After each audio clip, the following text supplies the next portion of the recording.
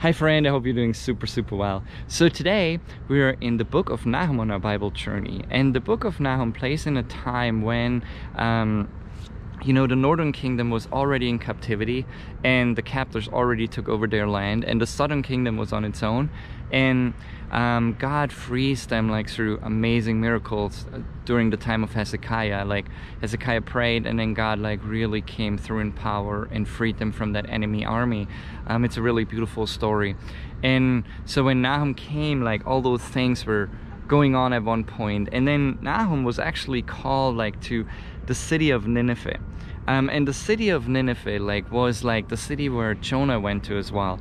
And that city was at that point where Jonah went an evil city and but then the people repented. Now with Nahum the city went back that's about a hundred years after Jonah and the city went back to their old ways and started doing all those things they weren't supposed to do and like really did worse than before.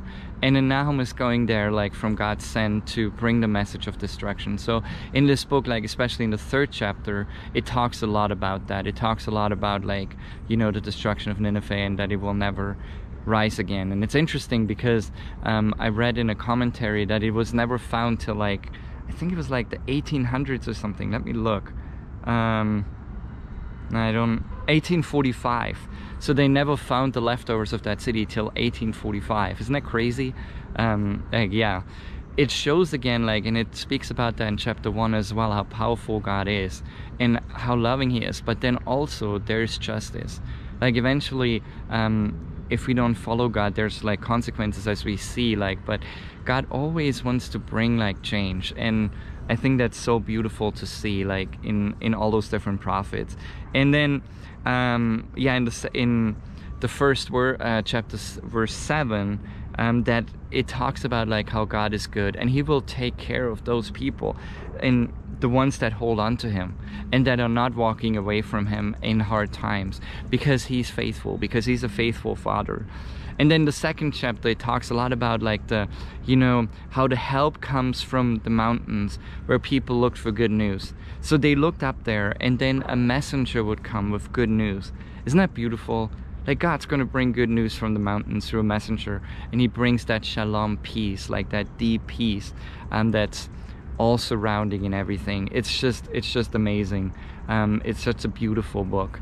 And again like in the last chapter it talks about destruction but what I love about Nahum like he was really faithful again like a prophet like that really followed God and just preached this message. And I assume like it's not easy going to like a city um, of an you know like they were not even like the Israel like friends or whatever like um, and he had to go there and preach that message of destruction like everybody of us wants to preach a good message right?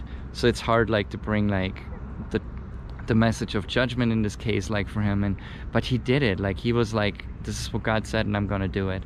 Um so yeah when you read to the book of Nahum be inspired be inspired by his story and by his heart and like how he followed God but then also how he showed like the power of God but then in the same way the love and the goodness of God and the God as a helper. So um yeah be inspired by the book. So God I just want to pray that you bless every person that's watching this through the book of Nahum. Give them encouragement give them hope um, give them joy through this book. In your name we pray Jesus. Amen. Have a blessed week and um, enjoy the book of Nahum. Bye